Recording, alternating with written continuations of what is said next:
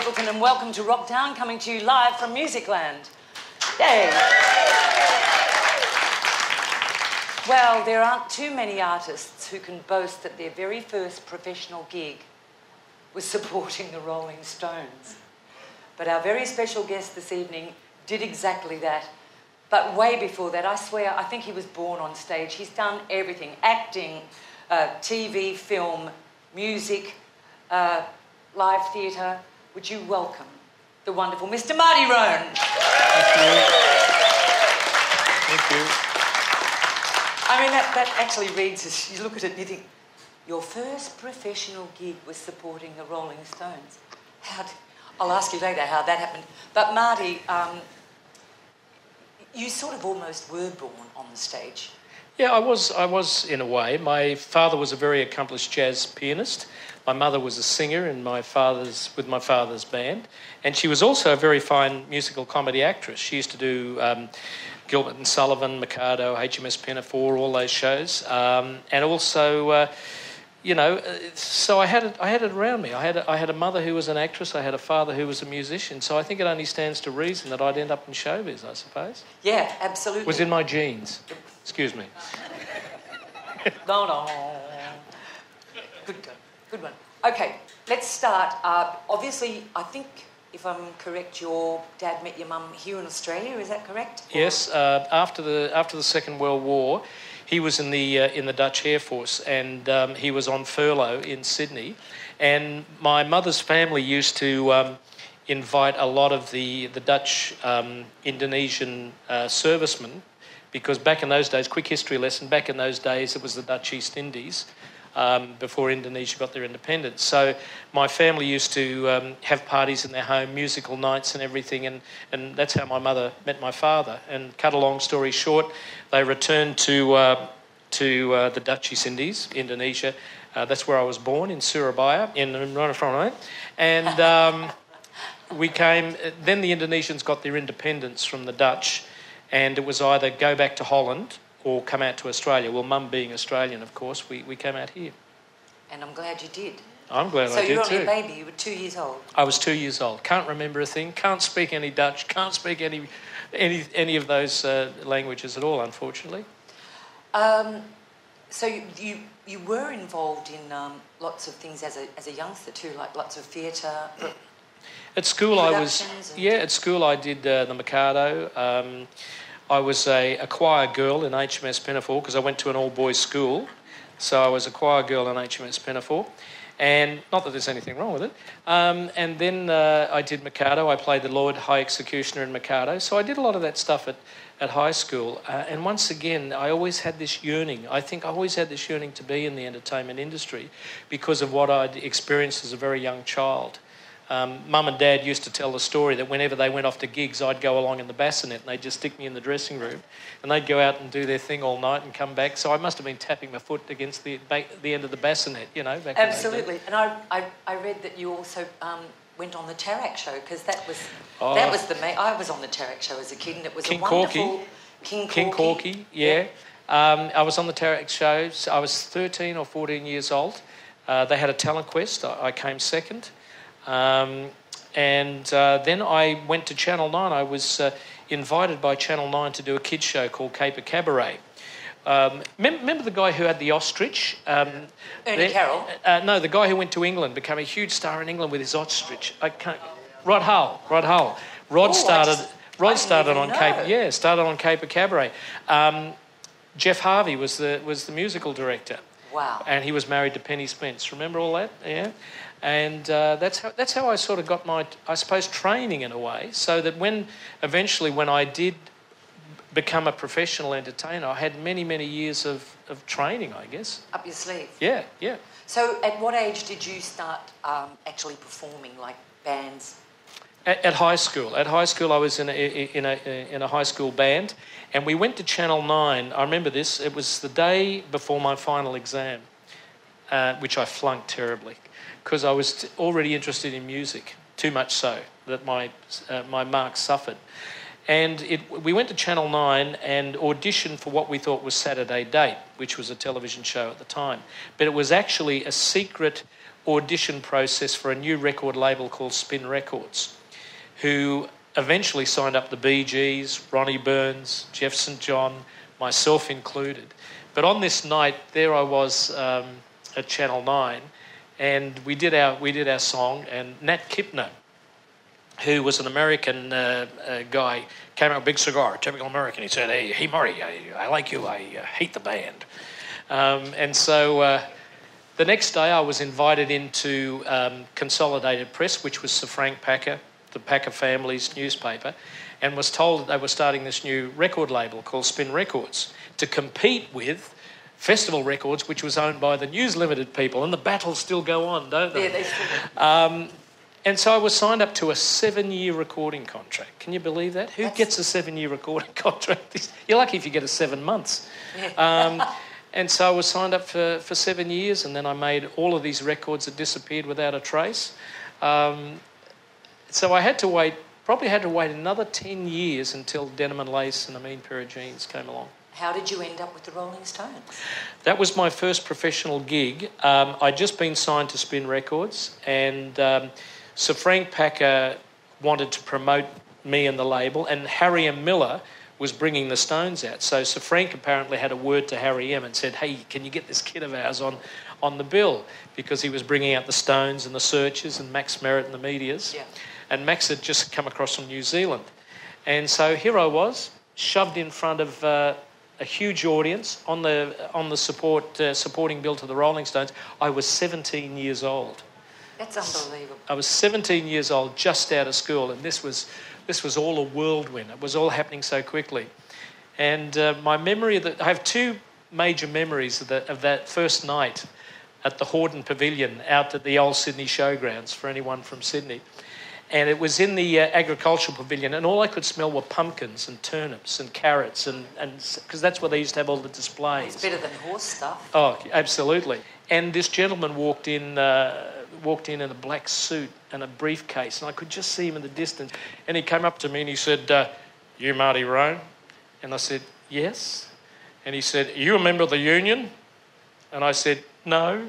he said, "Well, you you got to sign up before you go before you can go on stage." So I had to sign up for Actors Equity there and then. But I've been a proud member for the last uh, 49 years of the union. They found us everywhere. We'll They- take a short break. Yeah. We'll be back soon with Marty Rhone.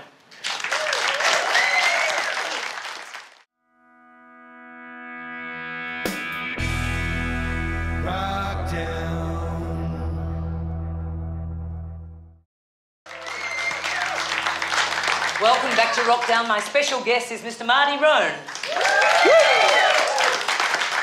We were talking about being in the dressing room at the Hordern Pavilion supporting the Rolling Stones at the tender, tender age, I should say, of 17, years old. yeah. So tell us what happened. Well, the, the manager of the Rolling Stones came into the dressing room um, before the show and he said, Would you like to meet the boys? Uh, or he said, Would you like to meet the boys? So uh, he took me into uh, the dressing room. They were all sitting on a trestle table, all five of them. Uh, Brian Jones was still a member of the Stones then, it was before he died. And they were all sitting on a, on a trestle table, just swinging their legs and smoking. And when I walked into the dressing room, I, for the very first time, I smelt this very strange, pun- pungent odour in the air. And I didn't quite know what it was, but the whole time I was just chatting with the boys, just saying a few, you know, they were pretty laid back, so we didn't get to talk much. But I was going, what's that weird smell? The only thing I can remember is I walked out of that dressing room feeling extremely happy. Was this before you went on? This is before I went on. Oh dear! What were you, what were you like by I sang very fast. Well, I mean that had, that would have to be one of the highlights of your career, was it? well, it was definitely a highlight. No, no, that's your second one. I That's got one to go, yeah. Your se- So then, as you said, you had to wait quite a long time before uh, your big singles came up. Now, you wrote you wrote material yourself. I, I wrote a lot. I wrote all of the stuff in the '60s. Um, uh, I wrote a mean pair of jeans in the '70s. Denim and Lace um, came to me as as a, as a country and western demo. It was one of the worst demos I've ever heard in my life. And I said to uh, I said to my um, uh, production company, I said, "No, look, I'm really not interested." But folks, having turned down a little ray of sunshine when Brian Cadd offered it to me, And having turned down a song by a little known Swedish band called ABBA called Waterloo, um, I wasn't going to knock back a third song. And so I, I, said, yeah, look, I'll do Denim and Lace, but I, I, on one condition, I'll do it as a rock song. So they said, well, go home, have a listen to it. So I went home, and I can remember driving over the Sydney Harbour Bridge, and uh, on the radio came I Hear You Knocking, the song. Hey, you left me alone a long time ago. Yeah. I hear you knocking. And I really liked the feel of that song, and I thought, that's, that's how I'd like to do Denim and Lace. And I got home and I got my guitar out and I created that winding guitar riff. Down, down, down. So I did a rough demo at home and I took it back to the studio. I said, I'll do it with the feel of that song and I'll do it with that riff. And so we went in, we got the, the, the band to play it as you saw on the clip. And as they say in the classics, the rest is the history. The rest is history. Yeah. And of course, that was a massive hit. Huge. Yeah. Second biggest selling, second biggest selling record in Australia in 1975. Wow. Yeah. yeah. Did you make a lot of money? I always use this analogy. If that had been a number one record in the United States, uh, and then I followed it up with a Mean Pair of Jeans, another number one record, I could have dined out on those two songs for the, for rest, the rest, of my of life. life yeah. I would have earned a fortune. I would have kept going back to Vegas or touring the US. Unfortunately, it's Australia is a great country, but it is still a very small industry here. And so, therefore, there just isn't the, uh, the money. The population. And there isn't the population. Yeah. So, you know, that's, and that's what I think makes Australians so good at what they do, is that we, we have to do it against enormous odds.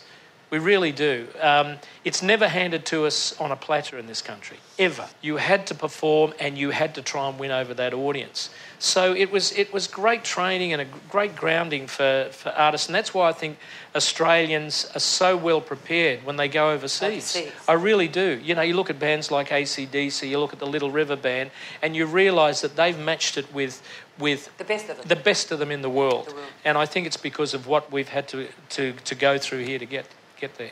Well, Marty, here's a band that, um, excuse me, actually uh, did their film clip here at Musicland. Musicland are fabulous in as much as they give people a go. They have fantastic rock uh, contests and things here. And this young band were actually on the finals of Australia Got Talent. Sisters Doll, so have a look at this clip.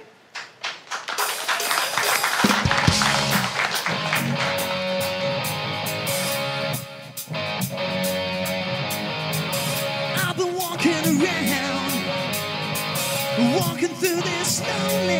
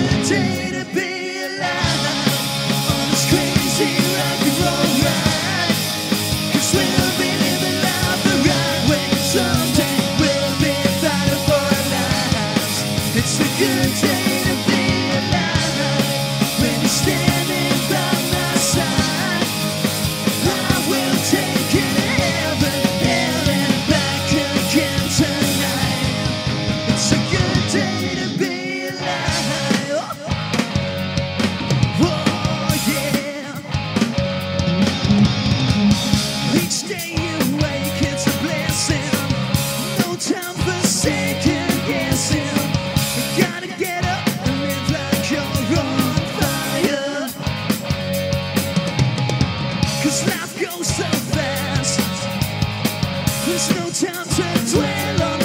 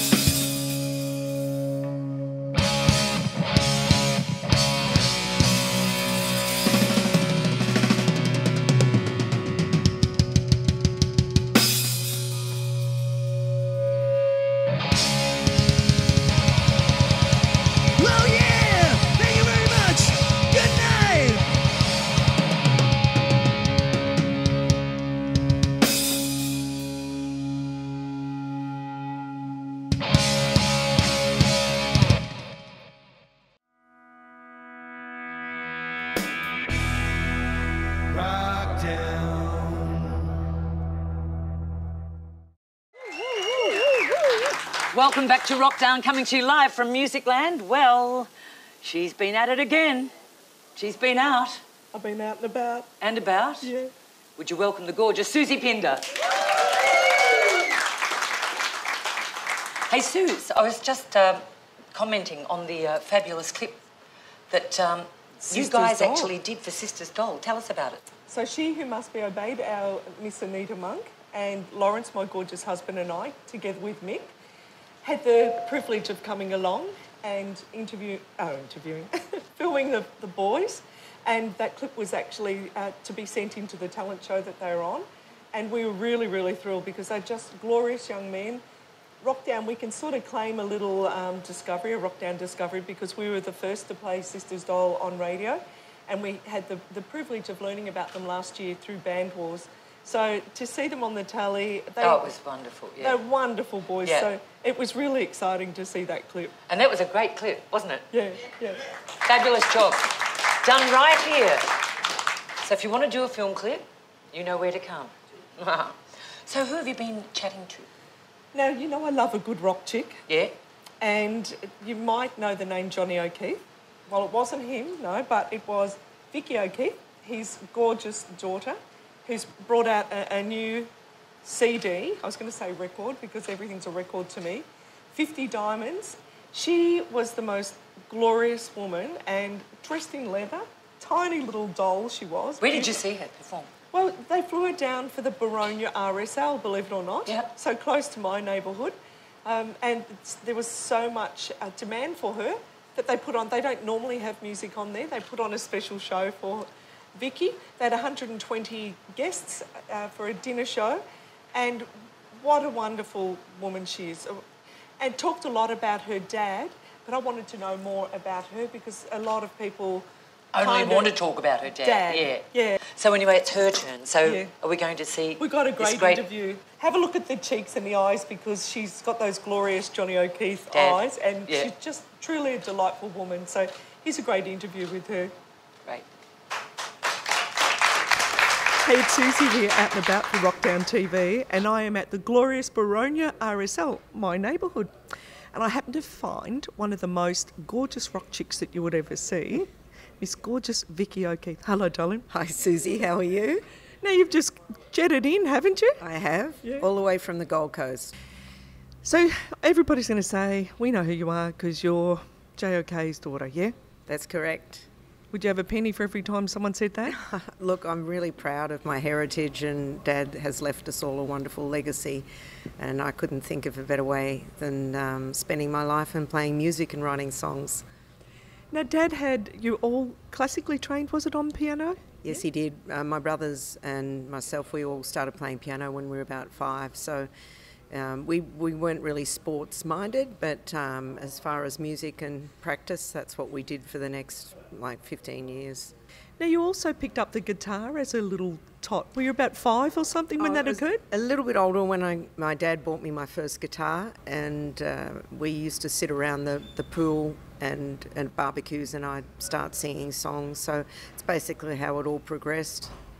And you often attended Dad's gigs, I believe. I did. We all did, and we were really proud kids. And I, I guess it was a wonderful lifestyle to grow up in, especially in the 70s and, and uh, the club scene in those days as, as kids. It was just so different to how it is now. And Dad being such a fantastic attraction to the clubs and so well loved uh, by all Australians was just a, a massive draw card and um, such a wonderful performer. And, and I used to just be in total awe myself just watching him perform. What is your fondest memory of your dad?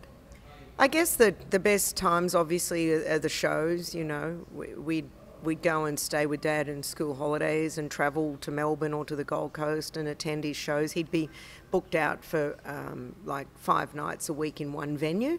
So we always had fun, and he'd he'd always spend a lot of time having fun with us, like going to Luna Park and you know having good kids stuff times together and basically he was he was our dad you know even though he was as well known and recognizable as he was in the streets he was he was our dad Yeah. Now tell me, because you you've had some really nice experiences. You've been support for the likes of say Ricky Nelson, Suzi Quatro. She would have loved you. You would have given her a run for her in the leather. What was that like? What do you remember about that? Oh, they were really, really great times. That was, you know, just after I'd lost my dad.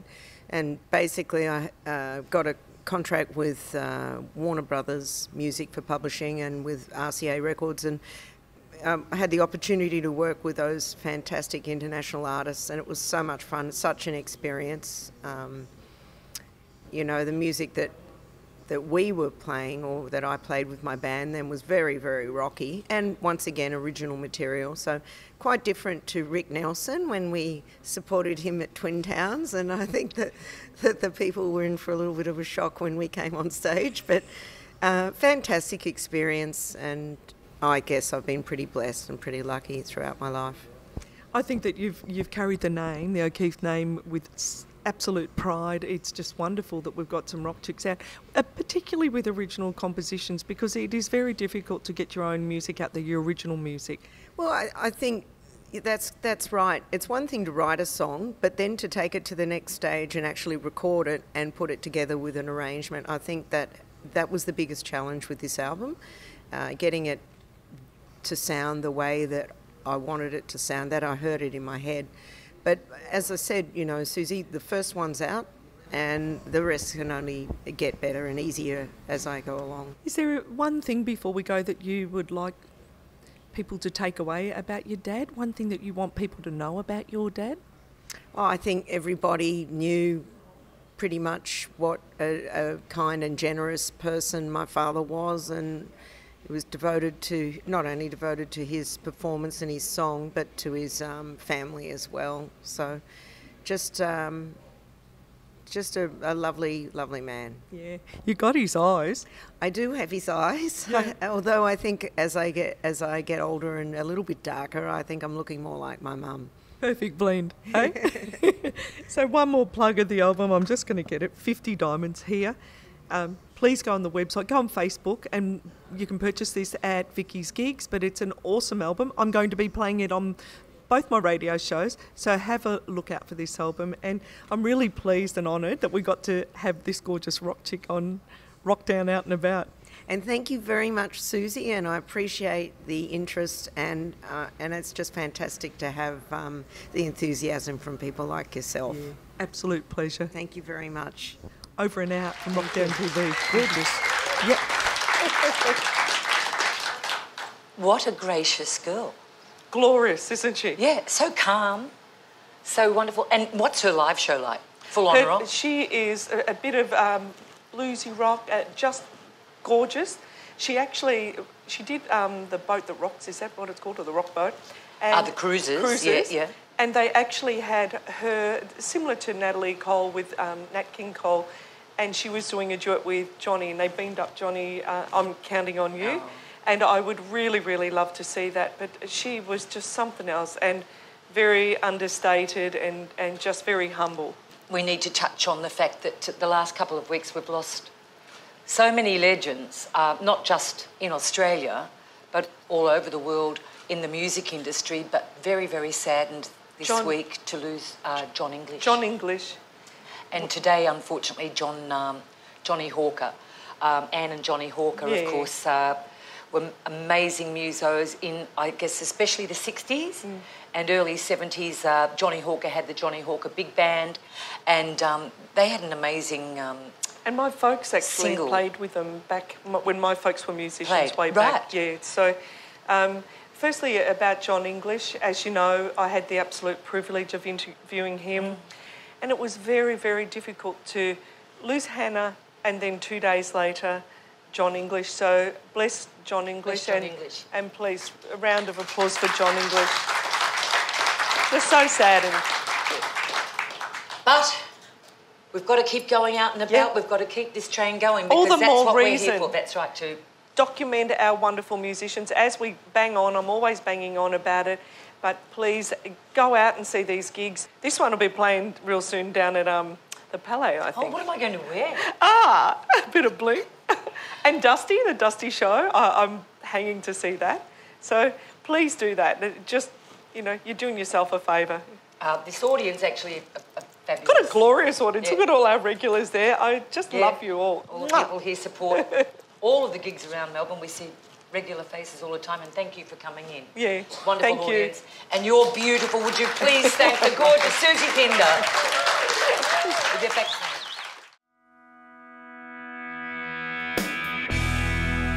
Rock down. Welcome back to Wrokdown. My special guest this evening is the multi, multi-talented Mr. Marty Rhone. Thank you. And when I say multi-talented, you have done so much in your life, it, entertainment-wise, or probably otherwise as well. But do you want to see something cute?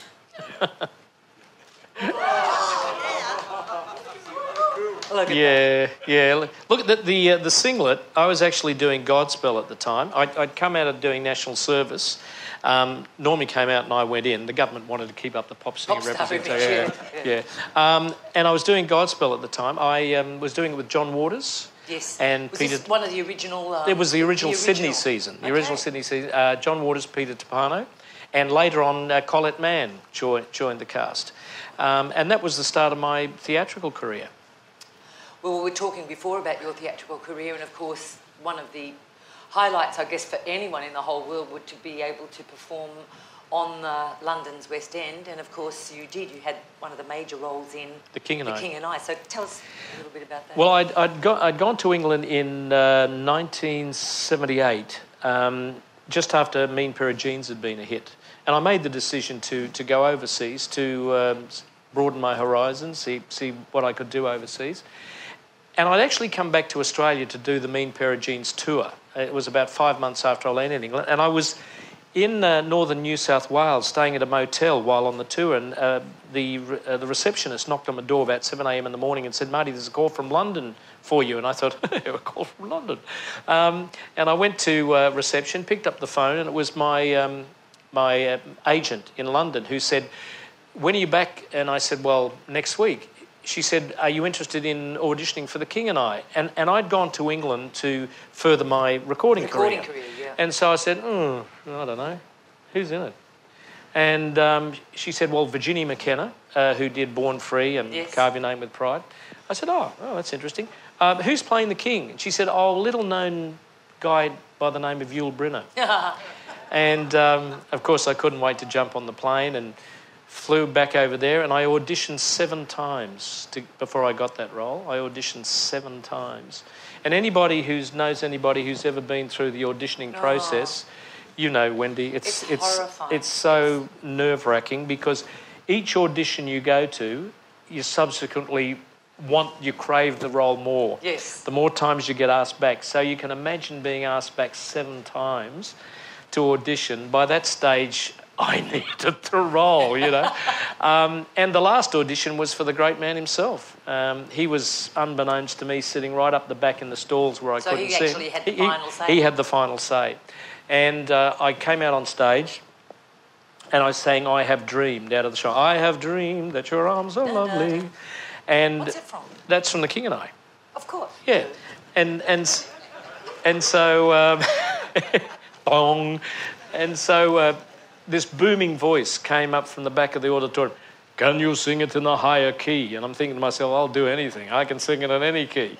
So uh, I sang it in a higher key, and, and, and I got the nod. I got the nod from the great man himself, and I spent the next 18 months doing the most amazing production in the most amazing theatre, which is the London Palladium. And it was not unusual. I don't want to sound like a name dropper, but this is true.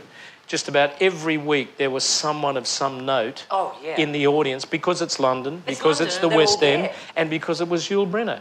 Uh, just a, a, a few names that roll off the tongue um, Robert De Niro, Dustin Hoffman, um, Burt Reynolds, Sally Field, Cliff Richard, Danny LaRue, uh, the late Princess Grace of Monaco, the late uh, King Hussein of Jordan, and the royal family.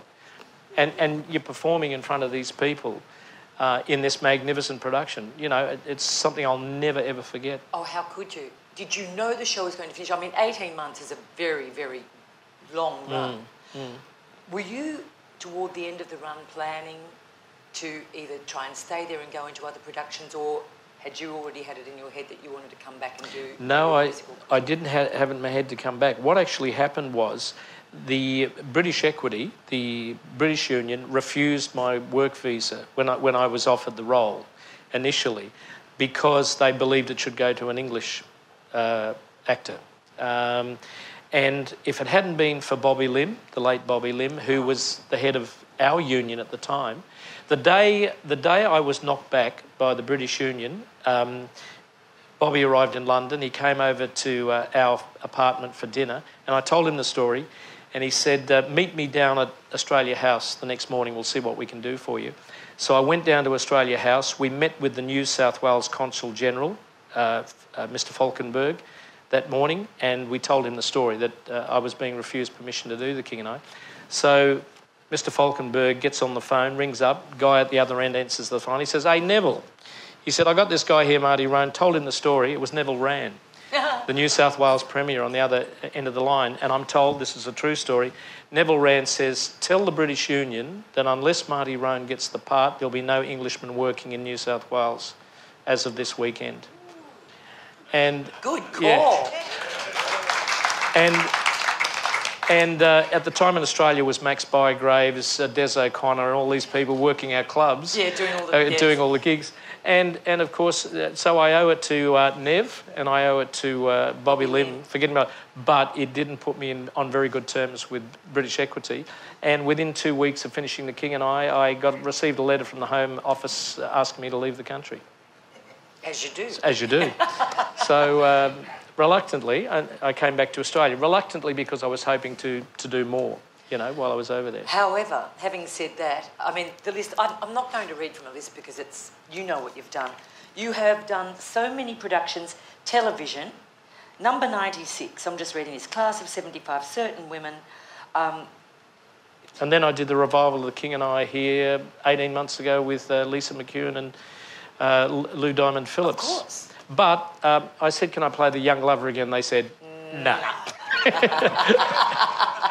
so I, uh, I played the Prime Minister. I played the Kralahome in The King and I, and um, I was thankfully nominated for a Helpman Award for Best I Supporting Actor. that. Congratulations. Yeah, thank you.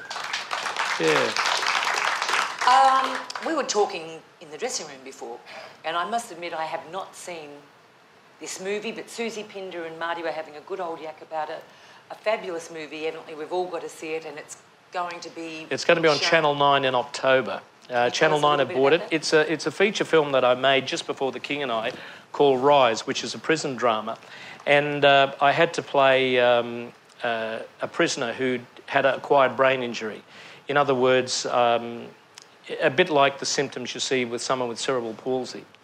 And I was in two minds of actually whether to, to play the role because I was very frightened, not frightened, but I was very concerned that if I didn't get it right, if I didn't play the role with a great deal of sympathy and I didn't play it the way a person like that, the condition that they would be in physically, that I was on hiding to nothing. That I was damned if I did and I was damned if I didn't. And so it took about two weeks for the dir- director to persuade me to, to, to play the role because he wanted me for the role. And so I decided to do it. And then I just, for week after week after week, I just watched video after video footage of people with those conditions to try and get myself into, into the body of someone into that condition, in that condition. And um, Well, you must have done a good job because I love this next comment. yeah, it was, The extras. it was really funny. We were filming uh, just near Ipswich in Queensland, and I was told the story at the end of a day's shooting where the extras who came on set uh, said to the producers, "We're really impressed that you actually got uh, a disabled person to play this role."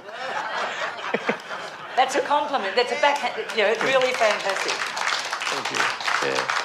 So yeah, it's uh, on Channel Nine in October. It's the movie's called Rise. It's a it's a prison drama, and it got international. It got released in Australia in the cinemas and played independent cinemas, like the uh, the Dendy Circuit and all that. And it got released in the United States, and um, it's going to be screened on Channel Nine in October. We'll all be watching out for that because I Yep. believe it's fantastic. Soozie was raving about it. We're going to take a short break.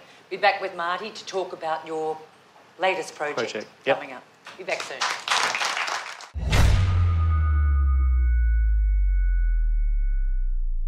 Hi, Mick Peeling here with another edition of Mix Picks on Wrokdown TV. My pick for this week is a band from Perth, Western Australia, uh, called Birds of Tokyo, and this is their fantastic new album playlist. Now, when I first heard these guys um, uh, a way back, uh, I, they didn't really uh, strike me as anything uh, out of the ordinary. But after about three quarter way through last year, when they released their Anchors EP, that really did the trick for me. A great, great song, and uh, sure enough, this album also holds up with that uh, great EP at the Anchors EP. Uh, great songwriting, great production, uh, a wonderful listen, and uh, these guys are just going through the roof worldwide. And if you haven't heard this record yet, you've been uh, living under a rock, and you should come out from under that rock and have a listen to this one, Birds of Tokyo and playlist. Adios.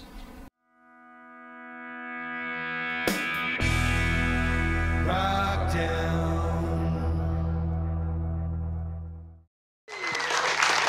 To Wrokdown. I'm with Marty Rhone. We've just been talking about your illustrious career, and I, I sincerely mean that you have done so much.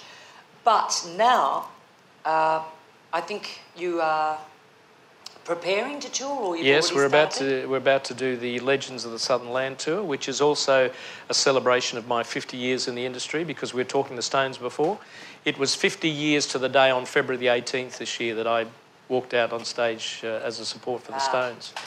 Stones. What a career! What a career! Okay, so tell us uh, first of all, tell us who's in the production because this is fantastic lineup. Well, about uh, two years ago, um, I got a call from Johnson Peters. He'd written a song uh, with a young uh, songwriter called Michael Yule called Legends of the Southern Land. We actually came on the program, I, I think, know, and spoke about it. yeah. And we've always said, those of us who were involved with it, that it'd be great to, uh, to go out on the road with it. And I mentioned to John that my 50th anniversary is coming up. He said, "So, well, why don't we kill two birds with one stone? We'll do your 50th anniversary and we'll do it under the banner of Legends of the Southern Land. said, great idea. So we got Swanee back to uh, Swanee, uh, John Swanee Swan, um, Ray Burgess, um, Johnson Peters, Tommy Emmanuel via video link. I, I might explain that We'll to you. that, yeah. We'll talk about that. Video link and uh, Jimmy Couples from The Voice. And w- I'm just excited to be going out with all, all my mates. As you know what it's like touring Yes, when yeah, you get yeah. to, and it's such a great song. It's such a great song to uh, to build the whole tour around. So it's going to be very exciting. So what what will the other songs be? Well, what we're doing is we're going to do all our hits. Everybody will be doing their hits, but we're also going to pay tribute to uh, those guys who are no longer with us that we've shared stages with over the years. really? Guys like um, Thorpe, Doc Neeson, uh, Marc Hunter, Jim Keays, and Darryl Cotton. And, and we're going to each of us are going to pay tribute to uh, to one of those guys. That'll be beautiful, and of course, I, I don't know. Have, have you got the video? Oh, we've got we've got technology is an amazing thing. What we've been able to do through the production crew is I'm actually going to be performing with myself as the other artists because what you can do with uh, technology these days is unbelievable. So while I'm singing, you're going to see me, circa that, singing up on the screen, and they're able to actually lip sync them. And so it looks, it looks as if we're both performing simultaneously. Me, old me, Oh, me, and. I don't think that's such a good idea. That's a fabulous idea. Yeah, but it's, it's going to be fun. And in regards to Tommy Emmanuel, doing it via video link, Tommy will be, be performing live with us on stage, but it'll be halfway around the world. Explain, please. Well, what, what it is, is that Tommy will record his segment overseas, he will record his part, and we will play it back and we will perform with him on stage. Right, so is he living overseas? Oh, he's been living overseas for, and touring overseas for years. I knew he was touring. I Yeah, didn't know he, that no, he, he, actually lives, lives- he lives overseas. States? He lives in the United States, yeah. Any dates, for, especially for, I guess, the big one at the casino? Yeah, the one at the casino, mate. The ones I can tell you, uh, that my memory will allow me to, is Geelong on the 2nd of April, Shepparton on the 9th of April. Then we got a break because a couple of the guys were unavailable. Then we do Crown on the 7th of May, as I said, my birthday. Um, and then we do Frankston on the 15th, 14th, 14th of May. Fantastic. Before we go to New South Wales. I was going to say, are yeah. you looking at going Yeah, New South Wales and Queensland. But hey, who cares about those states? yeah. everybody? yeah, of course. Everybody. And Yeah. um, obviously, if that goes well, you'd think of taking it over to South Australia and Yeah, I think eventually. Uh, The, the biggest problem with doing a show like Swanee's this there, you know. is huge in Adelaide. As if, as if we didn't know, but I was thinking No, he is. He- he's like huge. Adelaide's favourite son, isn't But he? the great problem. Peeling, of course. The great problem with doing a show like this is getting everybody available on the same, Same dates yeah. because there's so much in demand. I mean, Swanee does a lot of touring. Um, and and uh, everybody has their other commitments. I've got a, I'm, I start shooting a film here. This is why the hair's so short. I start f- uh, shooting a film at the end of this month called uh, The Comet Kids, which the producers hope to be an Australian version of The Goonies. and the reason my hair's so short is I'm playing the chief villain in the film. I'm playing a nasty person. I'm really looking forward to it. Do a, do a thing for us. Hey, keep your mouth shut, kid. I've got to use an American accent in the film because they're trying to sell it to the American accent. And I said to kid, "Don't lie to me, kid. Don't lie to me." You'll be brilliant as you always are. It's been wonderful having you here. Uh, we could talk for ages. Your career has just spanned, as you said, 50 years and still going strong. Uh, the Legends, what's the full name of the, the show? Legends of the Southern Land. Legends of the Southern Land. Keep your eyes And the legends does not refer to us. I want to make that very clear because that would seem very presumptuous. The legends is all about the great Australians that keep this country moving along. You know, all of the people that have made this country great, not us. It's been wonderful having you here. Marty Rhone. Thank you. Now, just to show another facet of your marvellous talent, we're, we're going out with a film clip, and this is not one of your pop songs. No, it's not. It's me playing Jack the Ripper in, in a stage production. It's a bit of a sad story connected with this. The guy who wrote all the music for Jack the Ripper, which was absolutely sensational, sadly, halfway through the recording of the cast album, he was diagnosed with motor neurone disease. And he, he was only given, I think, uh, about 12 months to live. And by the time we finished the album, a whole group of actors in Sydney, professional actors, including myself, wanted to put the show on before he died. And so we uh, booked the, um, uh, the, uh, uh, one of the colleges there and their theatre, and we did it for three nights consecutive with him in, sitting in a wheelchair in the audience to see the show. And it's just sad that the, the great music from this, uh, this uh, play may not ever see the light of day, but I think you'll see from this, this film clip just how good the music is. Okay, we're going to take, take it out with Jack the Ripper. Marty Rhone. See you next week.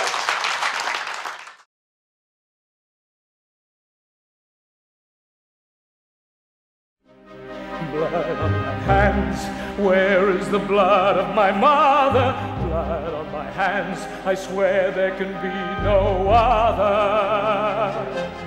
Now that it's started, I can't bear to be parted from the blade of my father.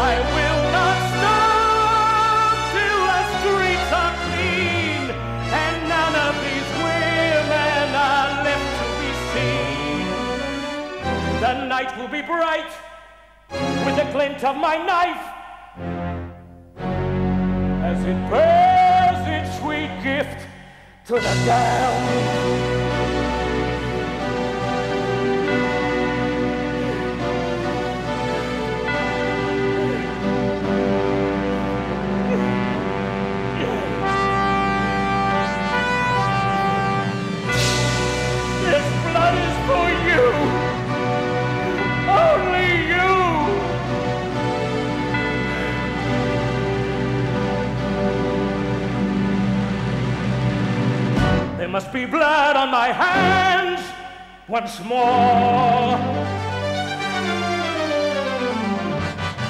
I'll show them there must be blood on my hands